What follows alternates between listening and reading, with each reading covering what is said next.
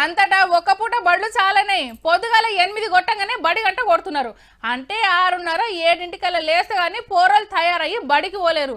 కంత పొద్దున ఏమన్నా తినాలన్నా తినబుద్ధి కాదు. పాపం ఏం తినకుండానే బడికి పోతున్నారట కొందరు.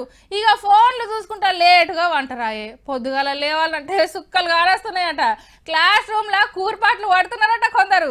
కానీ గీళ్ళు మాత్రం పద్ధతిగా పాఠాలు వింటుర్రు. ఎందుకంటే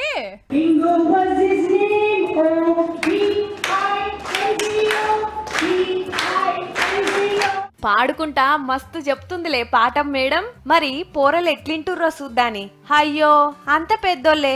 అరే అమ్మ నాయనలు వచ్చిండ్రేమో అనుకుంటురు కదా కాని కాదు ఇల్లు సుత చదువు చెప్పే సార్లు మేడాలే. అంటే పాఠాలు చెప్పే పంతుల్లే పాఠాలు ఇంటుర్రు అన్నట్టు. వచ్చేడికెళ్ళి సర్కారీ స్కూళ్ళల్లా ఇంగ్లీష్ మీడియం పెడుతురు కదా మొదలు టీచర్లకు ఇంగ్లీష్ ట్రైనింగ్ ఇస్తున్నారు. ఇంట్రెస్ట్ ఇనుకుంటా నోట్ బుక్ ల రాసుకుంటురంతా హన్మకొండలా ఐదు రోజులకెళ్ళి నడుస్తుంది. తెలంగాణ అంతా సుత ఇట్లనే ట్రైనింగ్ అయితే అవుతున్నారట టీచర్లు. ఇక్కడ నేర్చుకునేటప్పుడు చాలా కష్టంగా ఉంది. అయినను మేము ఇంకా కొద్ది కొద్దిగా కష్టపడి దాన్ని నేర్చుకొని మేము చాలా కుతూహలంతో ఈ ట్రైనింగ్ ముందు ఇంగ్లీష్లో మాట్లాడడానికి మేము కాస్త ఆ, ఇబ్బంది పడ్డటువంటి వాళ్ళము. ఈ ట్రైనింగ్ తర్వాత మేము కూడా చెప్పగలము అనేటువంటి ఒక కాన్ఫిడెన్స్తో ఇక వీళ్ళంతా ఇంగ్లీష్ ఆర్ పార్ నేర్చుకొని రేపు పోరాలకు చెప్తారన్నట్టు. పెద్ద పెద్ద చదువులు చదివినోళ్ళే కాబట్టి జల్దిగానే అబ్బుతుంది. సార్లకు మేడాలకు అందరికీ ఆల్ ది బెస్ట్.